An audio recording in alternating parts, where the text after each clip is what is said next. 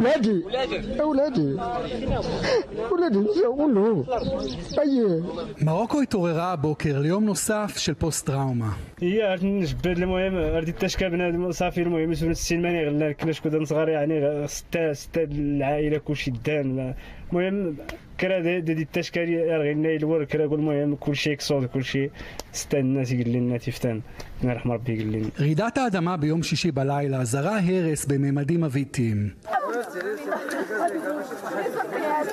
לפחות 2,000 הרוגים, 1,500 פצועים קשה, ועוד רבים מאוד שעדיין לכודים מתחת להריסות, חיים או מתים.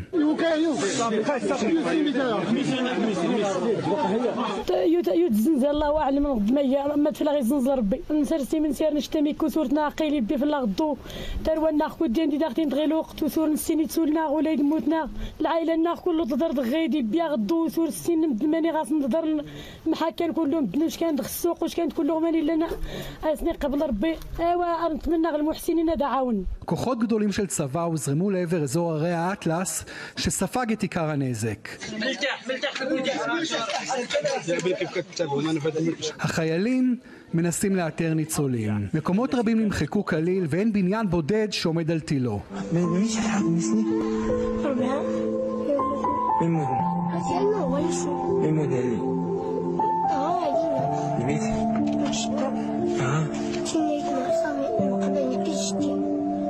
Cisza Johanna. Ja, kies, kies, תשתי ובבו. מדינות רבות, וביניהן ישראל, הציעו להעניק סיוע הומניטרי שאין ספק שמרוקו תזדקק לו לעוד זמן רב. בעיר מרקש, המרכז האורבני הגדול ביותר ליד הרי האטלס, גם מנסים להתאושש מרעש האדמה שפגע כאן בחלקים מן העיר. And the 20 second all of the people is stressed stressed very very stressed It's my first time to see and to live this uh, uh, this situation. It's a long time uh, here in Morocco. There is uh, no something happen like this earthquake. כאן בעיר העתיקה של מרקש אפשר לראות בבניינים שמאחורינו את ממדי ההרס והחורבן. הבניינים הרוסים לחלוטין, אנשים רבים יצאו כאן לבלות ביום שישי בלילה למסעדה, בתי קפה, עסקים אחרים, חוו את רעש אדמה ממש במקור ראשון.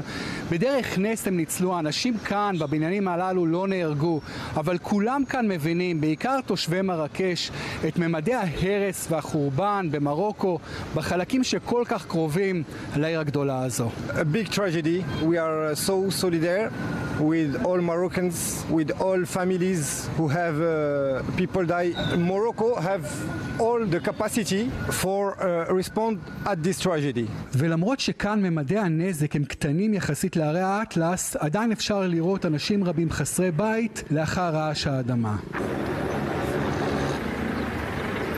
המלח הוא הרובע היהודי בעיר העתיקה של מרקש. גם הוא נפגע ולפחות חמישה אנשים כאן נהרגו. בדרך נס בית הכנסת אל עזמה שהוקם במאה ה-15 עומד על תילו. משעה לשעה מתחילים להבין מה ממדי האסון פה שקרה.